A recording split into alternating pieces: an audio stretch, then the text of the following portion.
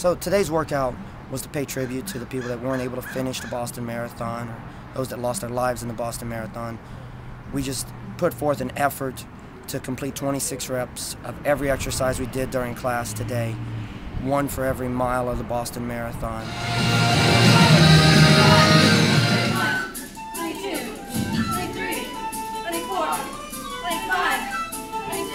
One hour of my day to make sure that I'm paying tribute back to the people of Boston and that we haven't forgot about them. It was one small thing that we could do just to remember those people that either were injured or didn't get to finish or even did finish and that, you know, the um, celebration of what should have been a great day, you know, changed drastically. So.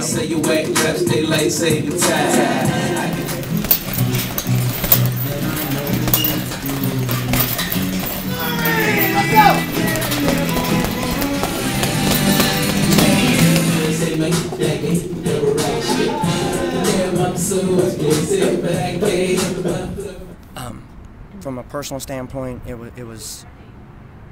I hate to have something taken away um, by the actions of, of terrorists or by not being able to control it yourself.